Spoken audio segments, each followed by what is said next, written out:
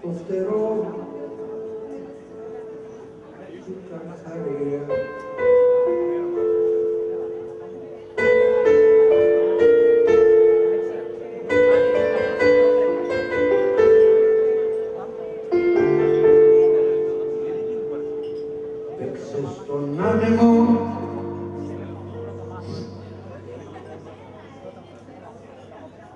y dolosa yo, eterna.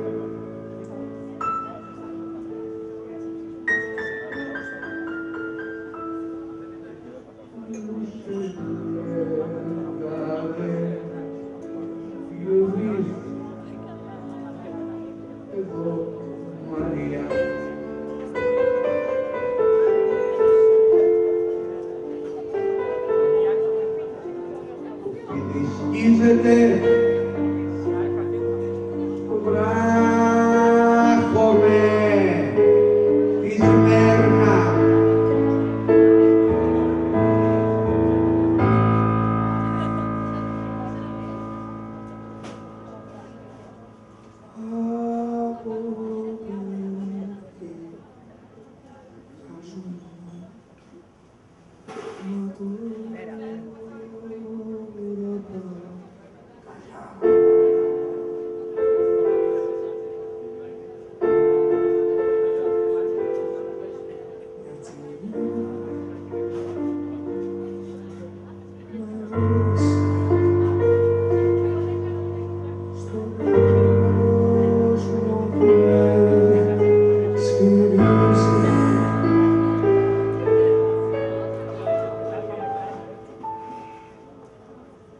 Υπόθεσε.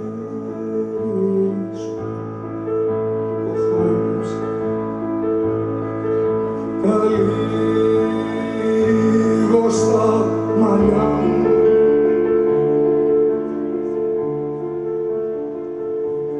Για μια στιγμή αφιλεύθερη σύμφωνα.